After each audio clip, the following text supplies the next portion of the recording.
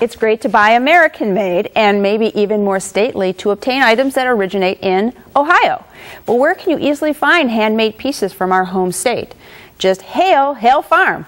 On Saturday, September 1st, that homestead will house the third annual Made in Ohio Festival. Artist Renee Flynn is the organizer of the event, and she's here with a sneak peek at some of the artistic objects. Welcome to the show. Thank you for having me. So why why pick Hale Village or Hale Farm? Well, Hale Farm has a lot of artisans on site. Um, I don't know if you're familiar. They have glass blowing, they have a blacksmith, they have pottery, um, as well as candle making.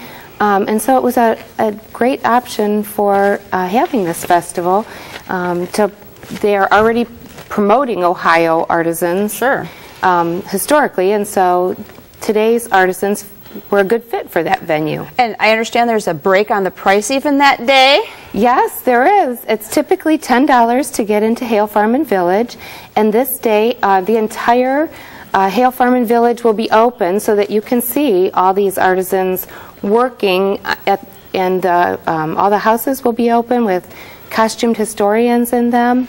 It's great. I've been there, especially with my kids. I've been there, and it's you know all the houses with all the different histories behind them. It's really a very fascinating It place. a Anyway, great- it's a great venue. so why make it then an Ohio only festival? Um, I'm an exhibitor myself, and I was going to a lot of these different festivals, and I was seeing um, artisans from uh, Kentucky and Pennsylvania, Illinois, Indiana, and I really felt that we didn't have a place to just showcase Ohio artisans.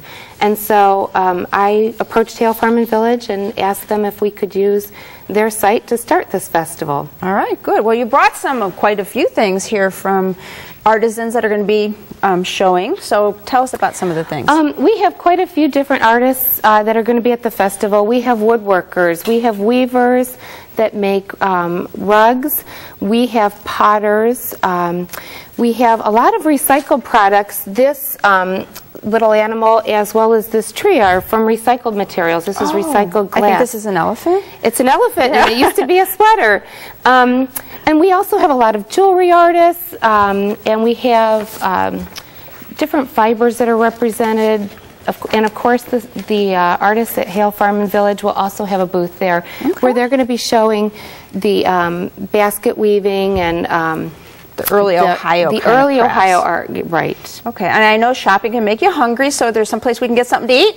Uh, yes, we uh, Hale Cafe is going to be open that day, and we also have totally cooked catering that is going to be bringing their barbecue wagon with them, and then we also have. Um, we have some vegetables here to represent our local uh, farmer from Amish country.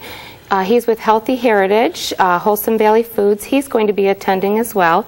And then Hattie's Cafe is going to be selling some jarred sauces and uh, such. So there will be some, a lot of uh, Ohio foods represented there. All right. Anything else like for the kids?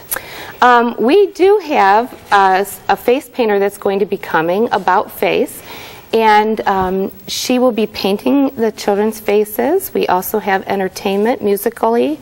Uh, we have quite a few different musical groups that will be coming throughout the day.